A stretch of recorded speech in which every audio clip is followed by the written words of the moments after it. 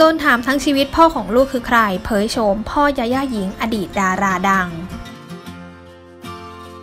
ดีตนักแสดงตลกหญิงค่ะน้อยโพงามเปิดใจแบบหมดเปลือก ย้อนชีวิตแต่งงานที่ต้องเลิกรากันเพราะคำคำเดียวค่ะ ที่อดีตสามีคิดว่าน้อยนั้นมีชู้แล้วค่ะ ซึ่งน้อยนั้นค่ะมีการพูดไว้นะคะว่าเมื่อ 15-16 ค่ะ เกือบได้ประกวดนางงาม แต่สุดท้ายก็ไม่ได้ประกวดนั่นเองอายุ 23 ค่ะ จะมีชื่อเสียงแต่มีสัตว์สองเท้าเข้ามา ถ้าเลิกสัตว์สองเท้าชื่อเสียงก็จะหมดไปนี่คือเรื่องจริงเลยนะคือเราจะต้องแต่งงานได้เสียกับพ่อน้องหญิง พบรักกันและเขาเป็นพิธีกรวงดนตรีเพลินพรมแดน ซึ่งหล่อมากๆค่ะ และจากนั้นอายุ 23 ปีก็มีการแต่งงานมีน้องหญิงตอน 27 คุณพ่อทายว่า 27 ปีจะเปรี้ยงสัตว์สองเท้าก็จะมาเราก็ไม่ได้กินยาคลุม อยู่ๆพ่อน้องหญิงชวนไปขอลูกพระพรหมเชื่อไหมหลังจากขอมา 2-3 วัน ฝันว่าพระอาทิตย์หล่นมาที่ตัก แต่ก็ไม่ร้อน เราก็เลยโอบกอดไว้ แต่พ่อเราก็ทายไว้เลย มึงจะมีลูกแล้วก็ลูกเป็นผู้หญิงด้วย เขาคิดว่าเรามีชู้คำนี้ไม่ชอบ แล้วก็ไม่ให้เกียรติเรามากๆ เขาจะด่าอะไรก็ได้บ่นอะไรเราก็ได้ เพราะเรารักเขามากเราเป็นแม่บ้านเหมือนในละคร เช้ามาเนคไท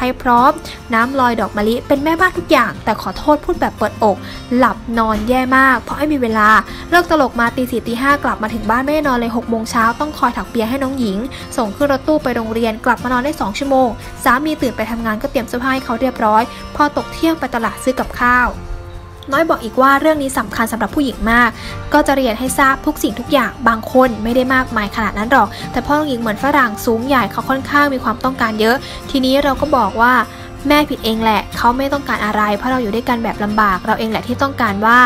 น้อยเหนื่อยไหมคือคำนี้ไม่ได้ออกมาจากปากเขาเลย มีแต่คำด่าอย่างนู้นอย่างนี้ เห็นผู้ชายไม่ได้เลย คือถ้าคนที่หึงเป็นอาเซียจะไม่ว่าเลย แต่นี่หึงคนที่เป็นเด็ก เรายังจะคิดมากอีก ทั้งที่เราก็ไม่ได้มีอะไรกับใครพี่เทพยังพูดเลยทำไมมึงคิดกับน้องกูแบบนี้ นี่วงก็วงมันแล้วมันจะต้องคิดยังไงอย่างนั้นแล้วพี่เทพก็ไปส่งที่บ้านทุกวัน คำถามที่หลายคนสงสัยมานานว่าคุณพ่อที่แท้จริงของ